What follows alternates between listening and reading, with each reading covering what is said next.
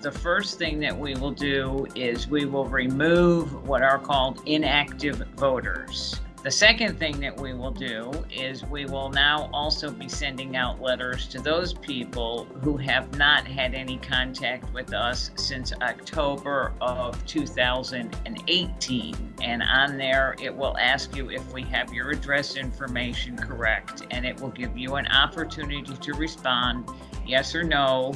And if we don't have your information correct, then you can fill in what is correct. And then the last thing that will be happen is it's called the um, National Change of Address Mailer. And you have to sign that and return it to us. If we don't receive your card, you will become what is called an inactive voter, which again, there's nothing wrong with your registration. It's just that we have to make sure that we have you registered at the correct address to make you eligible to vote in your jurisdiction.